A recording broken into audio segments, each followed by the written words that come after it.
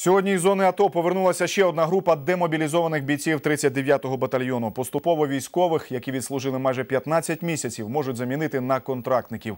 Та зараз про це говорити передчасно. Можливо, тому що майже всі демобілізовані кажуть, після відпочинку готові повернутися на передову. Ірина Каблоцька далі.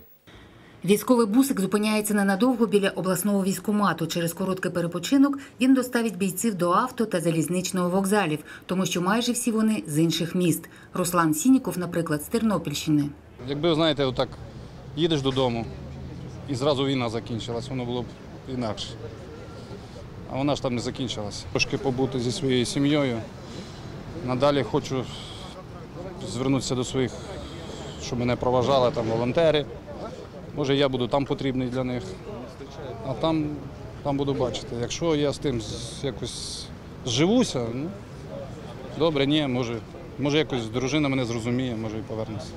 Троє дітей теж повинні зрозуміти батька, впевнений Руслан. Діти швидко зростають. Артем Степанов, один з наймолодших військових, знає про це на своєму досвіді. За рік він ніби подорослішав років на 20. Когда я приехал на передовую, это свист пуль, это свист, э, свист снаряд, э, снарядов минометов, с, э, гу- гул артиллерии. Конечно, это был просто, это был масса эмоций, и, конечно, было и страшно, и...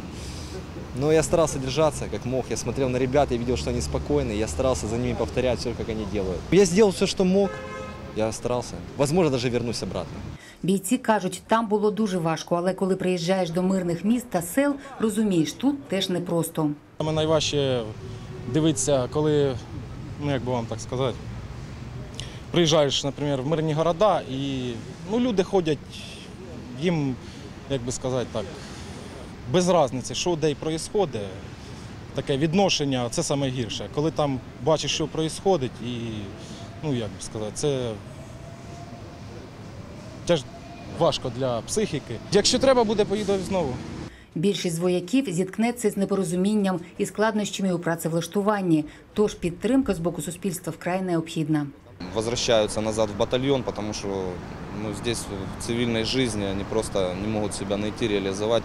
Зараз 39-го батальйону звільняють тих, хто був призваний з 20 квітня 2015 року. Заступник командира батальйону каже, що четверга привозитимуть партії з 25-30 чоловік, і всі з однаковим настроєм відпочити і потім повертатися назад.